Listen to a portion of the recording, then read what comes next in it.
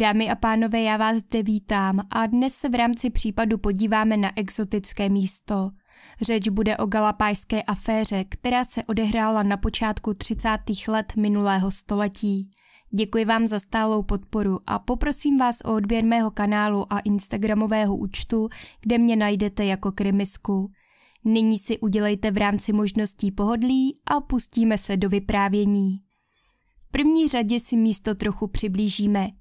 Galapajské souostroví se nachází v jeho východním Tichém oceánu, západně od Ekvádoru a jedná se o souostroví dohromady 19 sopečných ostrovů.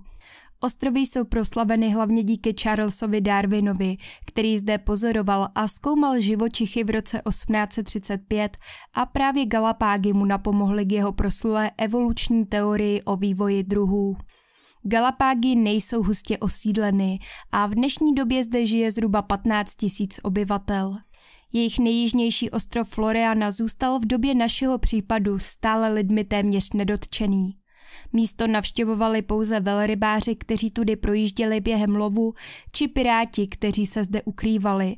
A to z důvodu, že byl ostrov vyhlášený pro své dobré zásoby sladké vody a bohatou faunu a floru.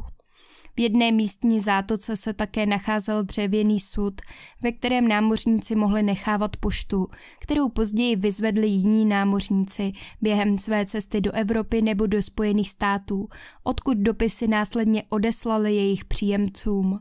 První pokus o stále osídlení ostrova nastal v roce 1929, kdy se tam nastěhoval doktor Friedrich Ritter a jeho partnerka Dore Strauch.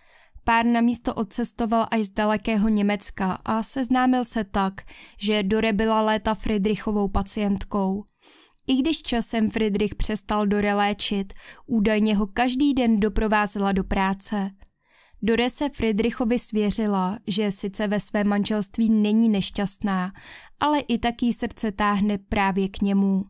Dále mu prozradila, že má pocit, že jsou jeden pro druhého přímo stvořeni. Friedrich byl v manželském svazku stejně jako Dore, ale s manželkou již dlouhodobě nevycházel nejlépe. City vůči Dore ale neopětoval, protože miloval jinou dívku a to vlastní neteř.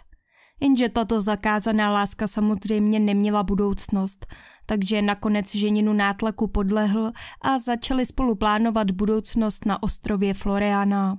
Friedrich a Dore byli celkově neobvyklým párem a nad některými jejich rozhodnutími může rozum stát. Jen málo kdo by se takto chtěl vrhnout do neznáma a samoty, ale to byl pouze začátek. Friedrich věřil, že přísná vegetariánská strava dokáže odstranit polovinu světových nemocí a nenáviděl organizovanou společnost, kterou považoval za obrovské neosobní monstrum, které tvoří řetězy, kterými poté spoutává svobodný rozvoj svých členů a přišlo mu, že lidé se ženou jen za bezcenými a pomíjivými věcmi. Dorehltala každé jeho slovo a Friedrichovi bezmezně důvěřovala – On zprvu nechtěl, aby s ním Dore odcestovala, protože dle něj nesnesl představu, že ho takto bláznivě zamilovaná žena pronásleduje až do divočiny, ale ona ho nakonec přesvědčila, že bude ideální partnerkou na podobné místě a že její přítomnost mu přinese jen samé benefity.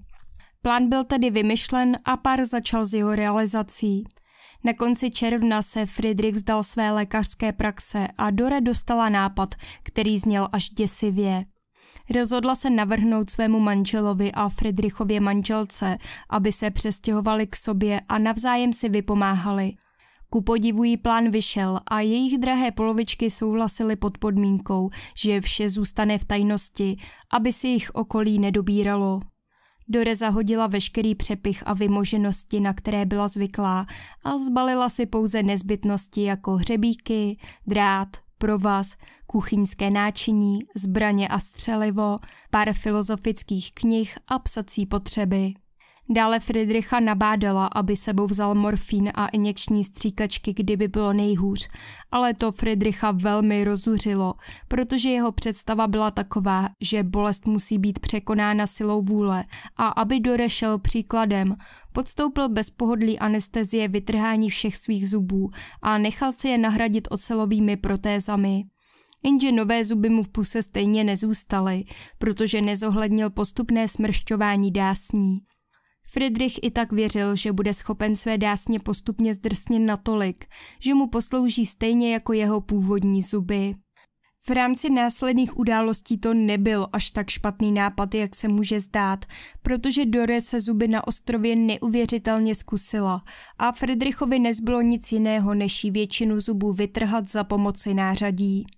Brzy se ale ukázalo, že romantická představa života v přírodním ráji se odlišovala od reality, která je zde čekala.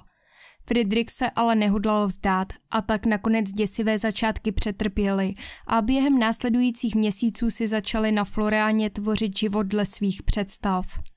Postavili si dům se skromným zázemím a také se jim dařilo chovat dobytek a obdělávat půdu, na které pěstovali ovoce a zeleninu. Jednalo se o obrovskou dřinu, během které začali chápat, proč tak dlouho ostrov zůstal opuštěný. Valná většina lidí se do něčeho podobného hnát jednoduše nechtěla. Celkové vyčerpání a nikdy nekončící lopocení kolem domů, zvířat a políček se brzy odrazilo na jejich partnerském vztahu. Věkový rozdíl mezi nimi činil 15 let a Friedrich byl neústupný a panovačný muž, který chtěl mít pod kontrolou vše, včetně své partnerky. Důvod, proč v minulosti Dore docházela pravidelně do jeho ordinace, byl ten, že trpěla roztroušenou sklerózou a Friedrichovi postupy léčby byly vše, jen nekonvenční. Ženě lživě tvrdil, že svou nemoc může porazit hlavně silou své vůle a když bude dodržovat přísnou dietu jenže její stav se postupně na ostrově natolik zhoršil, že musela začít chodit za pomoci holé.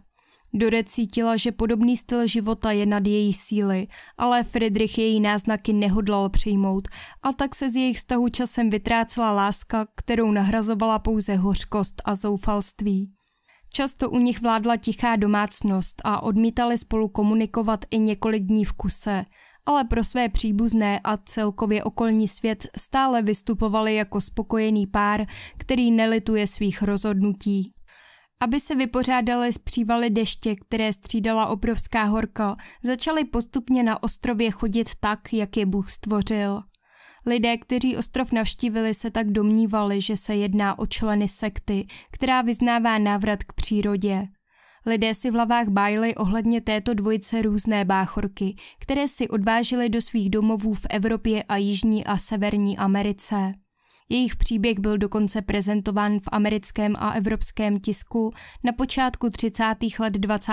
století jako určitá podivnost spojená s krásami Galapák a Nore s Friedrichem byli přezdíváni Adamem a Evou z Galapák – Jeden novinář také přinesl svým čtenářům úrovky dopisů napsaných Friedrichem, které se mu podařilo získat.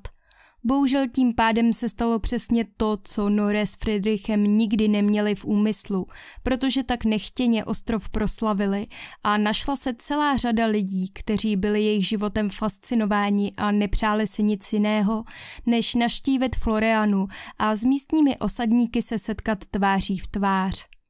V roce 1932 se objevil na scéně další německý manželský pár, a to Heinz a Margaret Wittmerovi, kteří se Norou a Friedrichem inspirovali a odcestovali na Floriánu i se svým 14-letým nemocným synem Harrym a jejich německým ovčákem.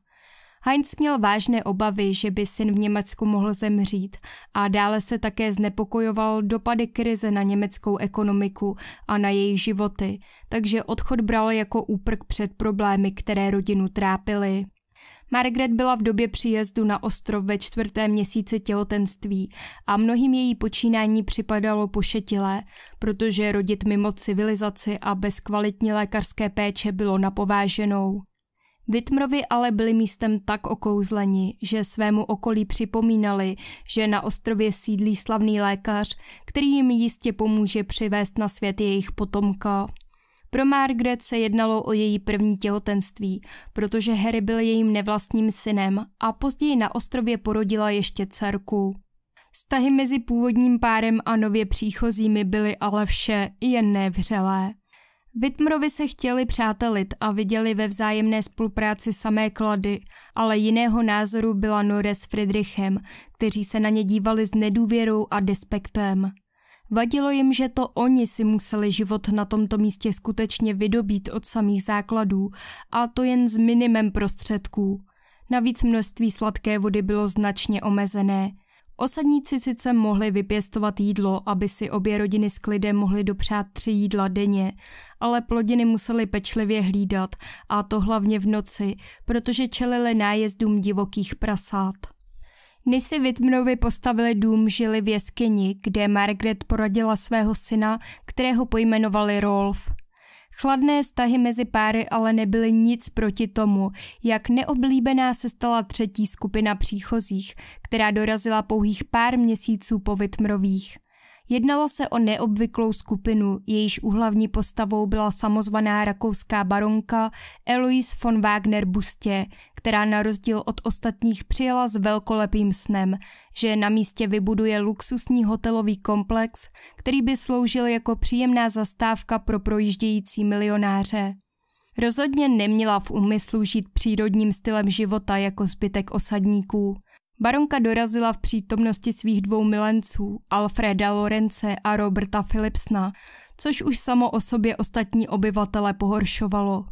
Dále sebou dovezla sluhu původem z Ekvádoru, Manuela Valdivěza, kterého najala při své zastávce v Jižní Americe. Spolu s muži, kteří ji doprovázeli, se usadila v provizorně postavené usedlosti, kterou pokřtila Hacienda Paraíso, tedy rajská farma. Nejhůře její přítomnost nesl Friedrich, který už tak se zatnutými zuby zkousnul rodinu Vitmrových. Baronka byla na první pohled okázalá žena, což se projevilo již při jejím příjezdu na Florianu, protože v následujících týdnech zdravila projíždějící lodě z břehu oděná v módních plavkách a při té příležitosti mávala pistolí a byčem. Pojďme si nyní říct o baronce nějaké informace spojené s jejím předešlým životem – Jednalo se o ženu, která si ráda svou minulost přikrášlovala, ale nejpravděpodobnější informace nám přináší novinář Valdo Schmidt. Dle něho baronka pracovala během první světové války jako sekretářka v Konstantinopoli, ale o práci přišla a nevěděla, co se svým životem. Nakonec se uchýlila k práci v kabaretu, kde potkala bohatého francouzského obchodníka Bustěho. Muž se do ní bláznivě zamiloval a brzy ji pojal za svou ženu a vzal ji sebou do Paříže, kde žil. Kdo ale ze sňatku nebyl nadšený, byla jeho matka, která s nimi sdílela společnou domácnost a neustále synovi připomínala, kam dal hlavu, když se oženil se ženou pod jeho úroveň. Nešťastná baronka nakonec hledala útěchu v náručí milenců, kterými byl i Alfred Lorenz a Robert Philipson. Když obchodník na manželčiny aférky přišel, nechal se rozvést. Tehdy již byla baronka okouzlena příběhy z Floriany, které přinášely osudy tamních osadníků a ona se k ním chtěla připojit. Své nadšení přenesla i na své dva milence, kteří se ji rozhodli následovat. Během manželství si baronka vybudovala obchod s dámským oblečením, který prodala, aby mohla financovat svou cestu. Jediné, co si z obchodu ponechala, byla zásoba spodního prádla a plavek, které tušila, že bude na ostrově potřebovat. Zmíněný dobrodruh a novinář Valdo Schmidt byl baronkou tak okouzlen, že přímo na místě zaznamenával její každodenní život. O baronce také napsal, cituji.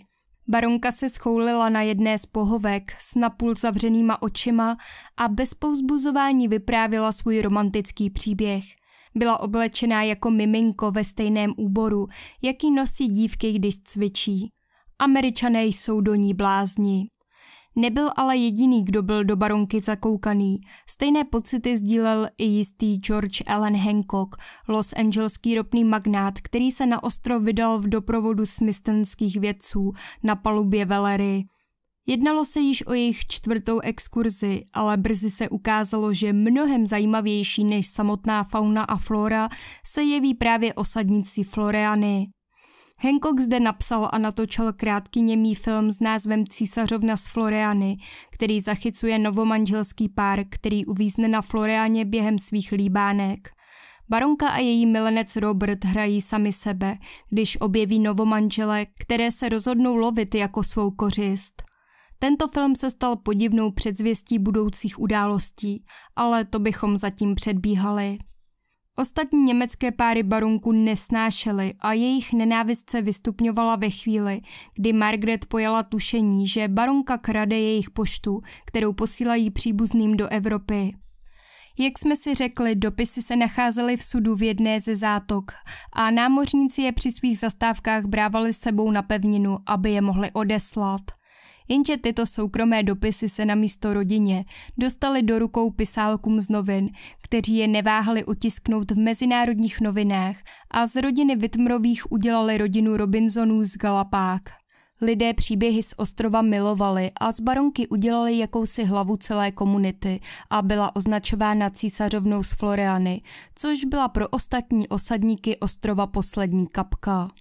Netrvalo to dlouho a mezi baronkou a ostatními páry došlo k přímé slovní roztržce, kterou doprovázel boj ohledně omezených přísonů sladké vody. V tuto chvíli již v některých ročních období byl velký nedostatek vody, kterou rodiny potřebovaly i na zalévání plodin a pro svá domácí zvířata. Navíc byl problém s dovozem zboží, protože ať osadníci chtěli nebo nechtěli, byli stále závislí na výměném obchodě s posádkami lodí, které k ostrovu připlouvaly. Obchod probíhal hladce do chvíle, než na ostrov dorazila baronka se svou družinou, která tento obchod svým chováním narušovala. Vše se ještě zhoršilo o několik měsíců později, kdy problémy vznikaly i vně její haciendy, protože jeden z jejich milenců, konkrétně Alfred, byl často spatřen, jak s ní špatně zachází. Muži planula žádlivost důvodu, že jeho vyvolená nedokázala svou lásku rovnoměrně rozprostřít mezi oba muže, ale okatě upřednostňovala svého druhého pohlednějšího milence Roberta. Oba se také často Alfredovi vysmívali. Napětí v milostném trojuhelníku by se dalo krájet a stalo se pro Alfreda nesnesitelné. Často tak hledal útočiště u rodiny Vitmrových, jenže ani jejich přístup mu nevyhovoval, protože Margaret nebyla na jeho nářky zvědavá a jeho úzkostné stavy považovala za projev slabožství, který se k muži jeho věku nehodil. Tímto přístupem se Alfredovo duševní zdraví rapidně zhoršovalo a brzy následovala událost, která osadníky Floriany šokovala. Dne 27. března roku 1934 totiž baronka a její favorit Robert za nevysvětlitelných okolností zmizeli. Margaret na celou situaci mávla rukou, protože se domnívala, že baronku její poveražení na ostrově omrzelo a rozhodla se nalodit na některou z projíždějících lodí, které mířily do francouzské Polynézie, konkrétně na Tahiti. Pokud kdy měla baronka se svým milencem podobný plán, na zmíněný ostrov nikdy nedopluli. Neexistuje ani žádný písemný záznam, který by dokazoval, že v té době nějaká loď mířící na Tahiti míjela Galapágy. Vyvstala tedy otázka, co se stalo s baronkou a Robertem, protože od této chvíle je již nikdo nikde nespatřil. Margaret s ostatními osadníky nespolupracovala a osud výstřední ženy, která se obklopovala milencí, nezajímal. Oproti tomu Dore tvrdila, že krátce před jejich zmizením zaslechla hlasitý vyděšený výkřik a potvrdila, že v osudný moment kolem rozhodně neproplouvala žádná loď, na kterou by se milenecký pár mohl uchýlit. Její výpověď je podpořena skutečností, že na ostrově zůstaly veškeré jejich osobní věci, včetně ceností, které by si baronka jistě vzala sebou. Další zajímavou věcí je fakt, že barončen ekvádorský sluha opustil ostrov hned další lodí, která se mu namanula, aby se mohl vrátit zpět do civilizace, aniž by čekal, zda se jeho paní náhodou neobjeví. Vraťme se ale k Alfredovi, druhému milenci baronky. Tomu se krátce po jejím zmizení podařilo přesvědčit původem norského rybáře, aby ho vzal k sobě na palubu rybářského člunu. Hodlal se dopravit na ostrov San Cristobal, tedy ostrov, kde se Charles Darwin v roce 1835 poprvé vylodil a na něm se nachází hlavní město Galapák. Alfred měl v plánu přestoupit na jinou loď, která by ho dopravila na jeho americkou pevninu, odkud by odcestoval zpět do rodného Německa. O měsíc později byli oba muži objeveni mumifikováni na pláži Marčeny, dalšího ostrova, který se nachází u ekvádorského pobřeží, ale leží ve velké vzdálenosti od ostrova San Cristobal, kam Alfred původně mířil. Tento ostrov nedisponuje zásobami pitné vody, takže lidé začali uvažovat, zda muži zemřeli žízní, nebo zda se stalo něco mnohem zlověstnějšího. Tragédii následovala další, a to přímo na Floreaně. Neobvyklé sucho zanechalo obyvatelům ostrova jen velmi skromné zásoby potravin a v listopadu roku 1934 skonal doktor Friedrich Ritter. Friedrich se pustil do vaření jednoho z uhynulých kuřat, které údajně povařil příliš krátce, což ho později pravděpodobně stálo život. Jeho smrt ale i tak vyvolala řadu otázek, protože mnohým se jevilo velmi podezřelé, že Friedrich skonal, zatímco Dore byla po snězení jídla naprosto v pořádku. Navíc zbytky kuřete nebyly k nalezení. Je samozřejmě zvláštní, že jeden z páru se cítil dobře a druhý zemřel v bolestech pozdějších memoárech, které poskytly jak samotná Dore, tak Margaret nezávisle na sobě, se ale jejich vnímání situace spojené s doktorovou smrtí značně lišilo. Margaret Whitmer tvrdila, že Friedrich nebyl schopen mluvit, ale díval se na svou družku s opovržením a nenávistí a přitom čmáral poznámky, které naznačovaly, že se domníval, že byl otráven. Dore po smrti partnera konečně opustila Florianu a vrátila se zpět do rodného Německa. Friedrich se samozřejmě s její léčbou mýlil a v následujících letech čelila mnohým zdravotním komplikacím spojeným s její roztroušenou sklerózou. Zemřela již v roce 1943 v jednom ze sanatorií, ale i tak stihla sepsat své paměti o událostech na ostrově. Vitmrovi na Floriáně zůstali a postavili zde hotel, který začal od 50. let 20. století přitahovat movité turisty. Heinz zemřel v roce 1960, ale Margaret se i tak rozhodla na Floriáně setrvat až do své smrti v roce 2000. V době umrtí bylo požehnaných 690 let a je na Floriáně pohřbena. Její syn Rolf, který se na ostrově přímo narodil v 30. letech, na místě prožil většinu svého života a provozoval jaktařskou společnost. V průběhu let se postupně objevovaly další příběhy o událostech na Floreáně, které je třeba brát s rezervou. Jeden z příběhů například mluví o tom, že baronka svedla guvernéra Galapájských ostrovů a z tohoto důvodu musela zmizet jiný, že omylem zastřelila náhodného návštěvníka ostrova během jedné ze svých mnoha loveckých výprav, které pravidelně pořádala, a tak ukryla tělo a společně s milencem uprchli. Jako nejpravděpodobnější se jeví vysvětlení, že baronka byla společně se svým milencem zavražděna. Motiv měl téměř každý na ostrově – Osadníci, kteří nenáviděli její styl života, vadili jim barončiny plány a vlastně svou přítomností celkově stěžovala jejich boj o přežití. Dále je zde ekvádorský sluha, který krátce po jejím zmizení odplul a nakonec její druhý milenec Alfred, kterého zanedbávala. Alfred trpěl psychickými problémy a zároveň čárlel na Roberta, kterého jeho milovaná viditelně protěžovala. Navíc Alfredovo úmrtí celkově budí pozornost, protože je velmi zvláštní, jak brzy po zmizení baronky a Roberta zemřel za nevyjasněných okolností. Baronka ani její milenec nebyli do dnešních dní nalezeni. Existuje ale ještě jedna domněnka, která hovoří o tom, že baronka byla vychytralá žena, ale chyběly jí finance, takže využila své přednosti, aby se zapsala do Evropské vyšší společnosti. Peníze a příběh o hotelu jí údajně měla nabídnout japonská vláda, která po ní chtěla špionážní služby, což má dokazovat i vztah s jedním z jejich milenců Philipsnem, který se v minulosti živil jako gigolo a měl vazby právě na Japonsko. Ať to bylo jak chtělo, příběh plný podivných umrtí a zmizení dodnes budí pozornost veřejnosti a to i po téměř 90 letech od událostí a přes fakt, že mnohé informace jsou přikrášleny a pozměněny k obrazu, který si baronka představovala.